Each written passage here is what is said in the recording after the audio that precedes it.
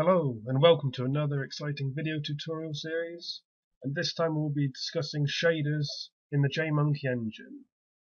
There will be about 10 different tutorials and it will go through the materials used in the JMonkey engine, how shaders are incorporated into that and then we'll go through a few different examples of how to use shaders in the JMonkey engine. So what can you actually do? Well, This shows a little video made by a JMonkey Engine user, Tone God.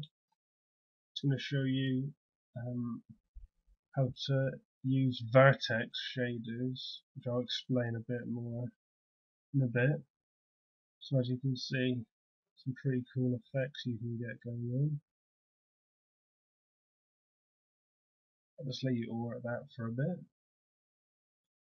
So that's altering the vertex positions.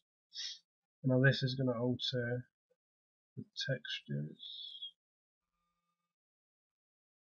in the fragment shader. That's pretty cool.